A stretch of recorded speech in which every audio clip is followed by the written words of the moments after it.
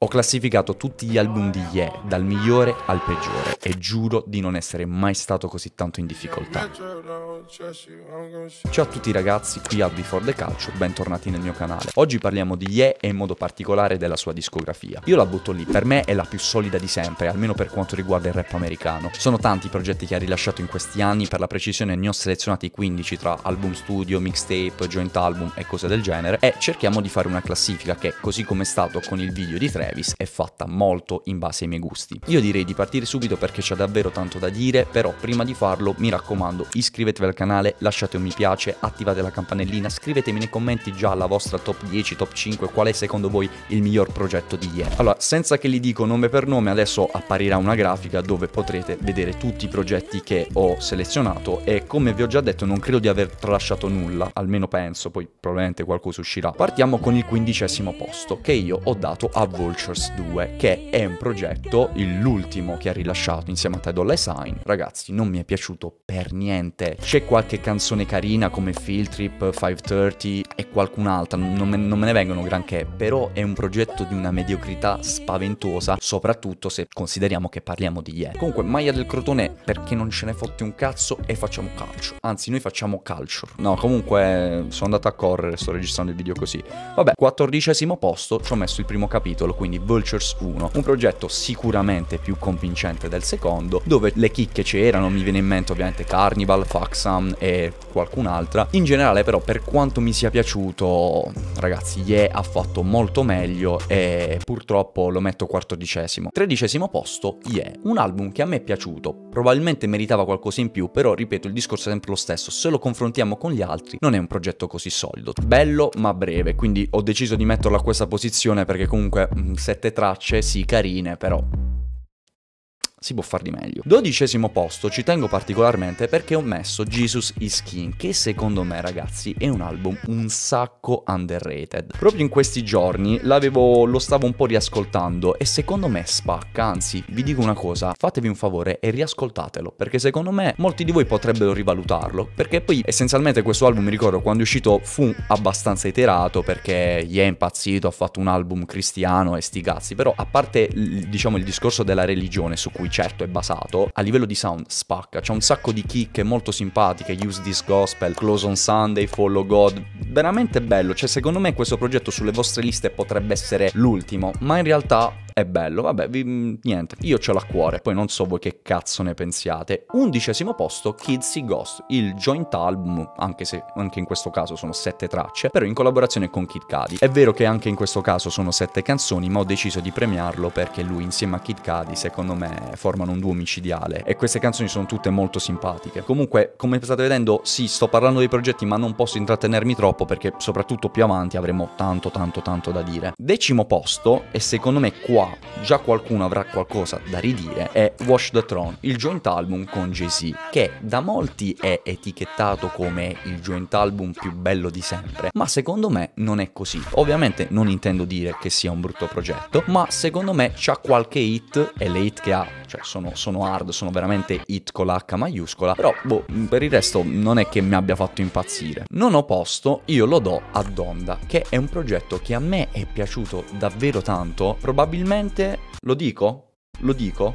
L'ultimo, l'ultimo vero bell'album di Ye. Cioè secondo me Donda è l'ultimo progetto convincente di Ye, anche se pure in quel caso un sacco criticato, troppe canzoni, troppi fit, però regà, per me spacca, cioè ha delle tracce anche in questo caso allucinanti. E ripeto, tra le sue ultime uscite è quello che ad oggi pensandoci mi convince di più, che poi tra l'altro è uscito nel 2021 Donda, album dedicato alla madre, tra l'altro una figura importantissima per Ye. All'ottavo posto facciamo un piccolo salto nel passato, perché ho deciso di mettere Cruel Summer, che comunque non è proprio una album di Ye o quantomeno è un album di tutta la good music, quella ovviamente dei tempi e anche in questo caso ci sono tracce clamorose. E tra l'altro, sempre ricollegandoci al video di Travis, qui c'è il primo featuring o comunque la prima grande occasione data a Travis perché è nel brano Sin City e comunque parliamo del 2012, lui ai tempi veramente forse era una delle prime canzoni che pubblicava, delle, delle, prime apparizioni, quindi quanta cazzo di strada ha fatto. Bene, ora tutto sommato ce la siamo giostrati, magari qualcuno su qualche posizione posizione avrà da ridire, però è andato tutto bene. Ora rimangono 7 album che secondo me per certi versi tutti potrebbero essere il miglior album di Ye. Dipende da cosa cerchi, da cosa vuoi ascoltare, dal tuo gusto personale, ma parliamo di 7 progetti veramente clamorosi. Ve li elenco, giusto per fare un po' di chiarezza. Graduation, The College Dropout, Hate or Hates and Heartbreaks, Late Registration, The Life of Pablo, My Beautiful Dark Twisted Fantasy e Jesus. Il settimo posto lo do a Jesus. Lo so che qualcuno mi Ceral. Però parliamo di questo progetto perché è davvero clamoroso, un album che mi sento di dire, sì, ha rivoluzionato il sound hip hop con tutti questi suoni elettronici, distopici, non li saprei nemmeno descrivere metallici, è un album clamoroso che quando uscì ai tempi, se non ricordo male, 2013 fece parlare tantissimo di sé perché per quegli anni era qualcosa veramente di rivoluzionario. Tuttavia ho dovuto metterlo settimo perché i progetti che ho messo davanti mi sono un po' più rimasti nel cuore e ripeto, questa classifica è comunque fatta in base ai miei gusti, a quello che ho ascoltato di più negli anni e che più mi è rimasto. Sesto posto io lo do a The Life of Pablo e anche in questo caso un po' mi dispiace, però è, è difficile ragazzi, è, è, difficile, sono provato, cioè sono provato a fare sta cazzo di classifica. Comunque, secondo me io ho sempre avuto questa teoria, ora ve la dico, non so quanti di voi saranno d'accordo. Per me The Life of Pablo, tra tutti gli album di Ye, è quello che più si avvicina per certi versi al sound trap. Anche noi featuring Tidal La Sign, Young Thug, ho sempre avuto questa sensazione. Comunque ragazzi, che dire, Father Scratch My Hands, Famous, qui credo che ci sia la successione di tracce più clamorosa della storia. Sentite qua, Waves, FML, Real Friends, Wolves, cioè quattro tracce clamorose. In generale però tutto l'album è bello perché poi basta andare un po' più giù e c'è No More Parties in LA con Kendrick Lamar. Questo è un altro album che io personalmente ho consumato. Quinto posto e anche qua mi lincerete. Cioè non è facile, ok? Cioè fai una top nei commenti, vediamo come la fai tu. Se sei più bravo tu, falla tu. Cioè io la sto facendo, sto cercando di essere il più corretto possibile, però il quinto posto devo dare late registration. Perché è un album clamoroso, ma è inutile ormai che lo dico perché comunque siamo entrati proprio nell'Olimpo dell'hip hop americano e soprattutto di Ye. Cioè questo artista è clamoroso, ma oh, ci prendiamo un attimo per osservare, cioè io mi sono segnato qui, sto vedendo sul telefono i, i nomi degli album, ma c'è quanti cazzo di capolavori ha fatto? Perché anche Late Registration è il suo secondo album studio, ma che cazzo di album clamoroso. Allora, se posso dire una cosa, consideriamo una trilogy, The College Dropout, Late Registration e Graduation, diciamo che tra i tre è quello che comunque tendo ad ascoltare di meno. Cioè, quando ho bisogno di quelle vibes di quello che ai tempi era Kanye West e non gli è, cioè o vado su The College Dropout o vado su, The, su Graduation. Lui un po' l'ho trascurato, ma anche in questo caso parliamo di un album fenomenale e penso che ogni vero fan di Kanye lo ami. Quarto posto. Incredibile.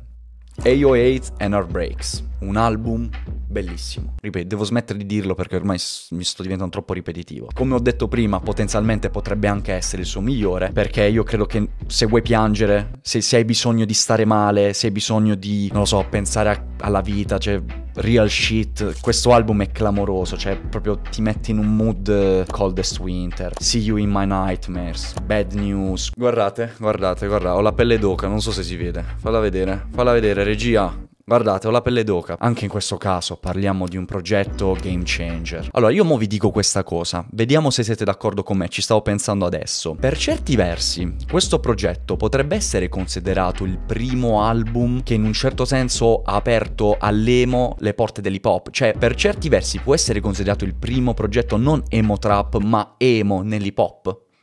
Mm? Non so se avete capito il mio discorso, perché secondo me stiamo lì. Pensateci, datevi un po' di tempo e scrivetemi nei commenti cosa ne pensate. Top 3, signori, top 3 top 3 e qua son cazzi e mi sto cacando sotto. Di nuovo, piccolo briefing, sono rimasti uh, The College Dropout, My Beautiful Dark Twisted Fantasy e Graduation. No, terzo posto lo do a My Beautiful Dark Twisted Fantasy. Mi vincerete così come mi avete bestemmiato per tutto il video probabilmente. Allora, da molti è ritenuto probabilmente il progetto hip hop più bello di sempre, perché sono 10 tracce, 10 Madonna, 10 missili, cioè, ma non missili perché sono banger, perché sono hit, ma perché sono 10 tracce clamorose. Cioè, il livello di testi, di liriche di questo album, secondo me, lo dico? È il punto più alto di Ye. Non so se siete d'accordo anche su questo, ma secondo me questo album a livello proprio di testi è scritto veramente veramente bene. Perché terzo posto? Perché so stronzo? No, perché i due progetti che sono rimasti mi sono rimasti più nel cuore, quindi io gli do un terzo posto perché forse l'unica vera pecca di questo album è che è un po' pesantuccio.